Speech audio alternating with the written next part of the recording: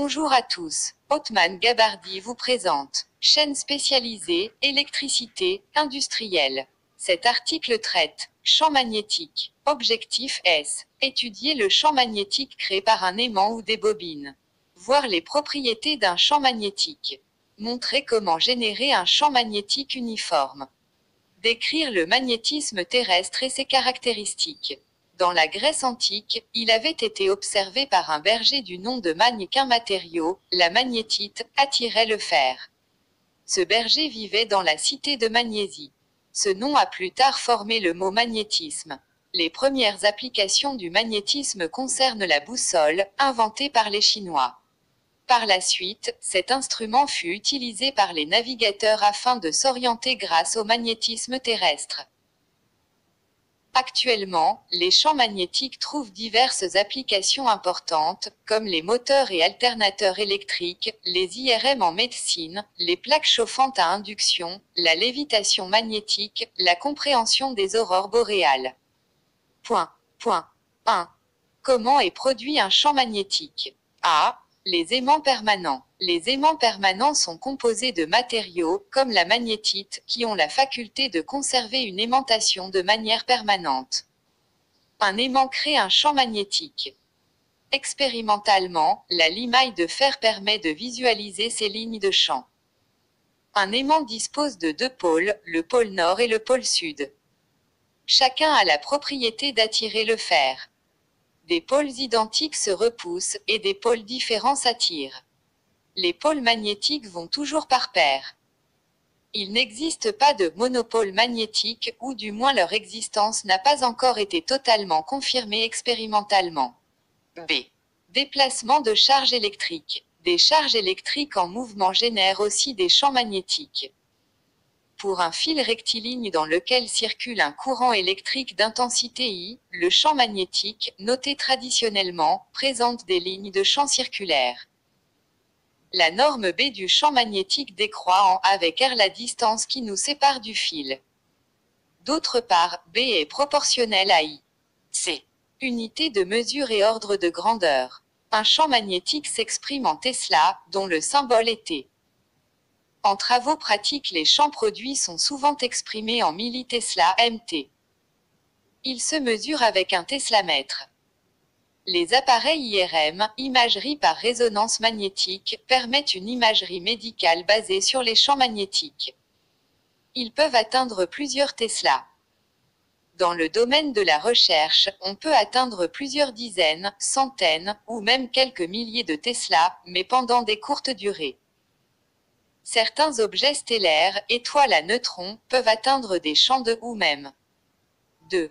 Les bobines. Afin que le champ magnétique généré par le fil soit exploitable, il faut des lignes de champ rectilignes, au moins localement. Le fil doit alors être disposé sous la forme d'un enroulement circulaire. Pour démultiplier l'intensité du champ, on fera plusieurs boucles, plusieurs spires. Cela constitue une bobine le champ magnétique produit par une bobine à l'allure suivante. Les lignes de champ vont du pôle nord vers le pôle sud à l'extérieur de la bobine ou d'un aimant. Par contre, c'est le contraire à l'intérieur de la bobine. Pour associer le sens de rotation du courant I au pôle nord et sud d'une bobine, il existe plusieurs méthodes, dont en voici une. On prend un stylo qui se visse on le dévisse, la rotation représente le sens de rotation du courant I. La partie en rotation va aussi se décaler selon l'axe du stylo.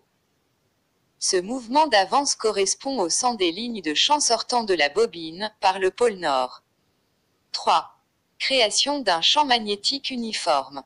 Dans des expériences liées à la physique, chimie, biologie, on peut avoir besoin d'avoir un champ magnétique uniforme.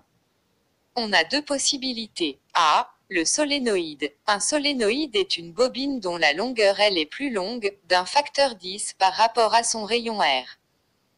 La figure ci-après montre les lignes de champ en 3D. À l'intérieur du solénoïde, le champ est uniforme.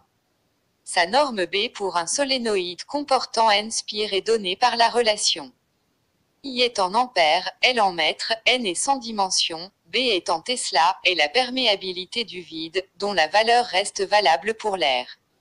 B.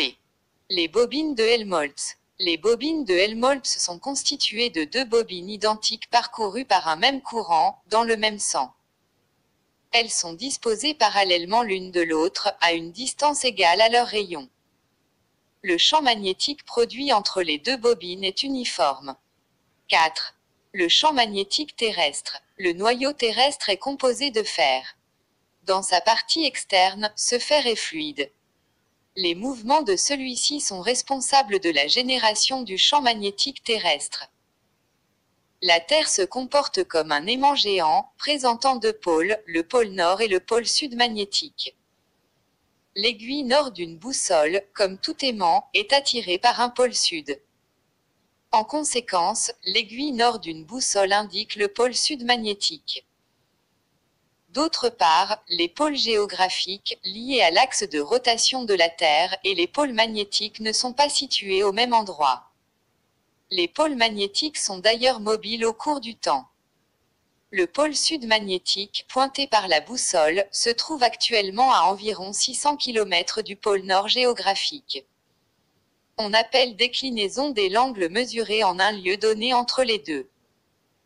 Comme indiqué par le croquis, les lignes de champ ne sont pas parallèles à la surface terrestre.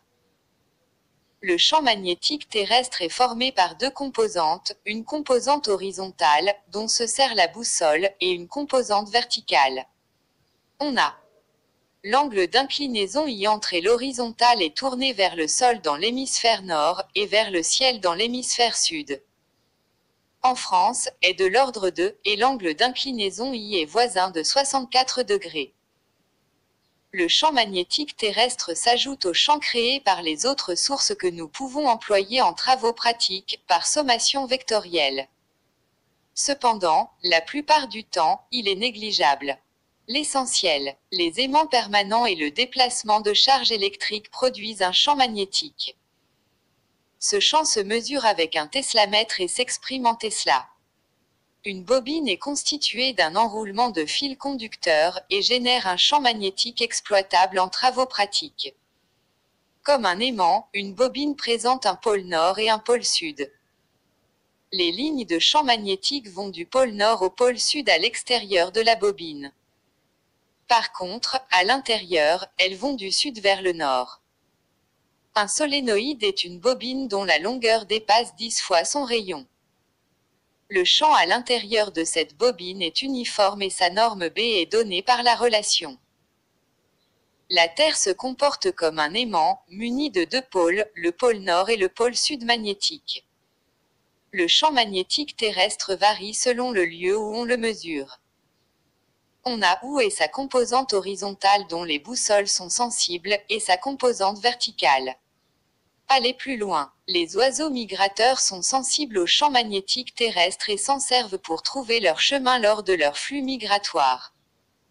D'autre part, le champ magnétique terrestre constitue la magnétosphère. C'est une sorte d'écran qui dévie le vent solaire, composé de particules chargées. Une faille de ce bouclier est de temps en temps au niveau des pôles, ce qui forme les aurores boréales. Sans la magnétosphère, le vent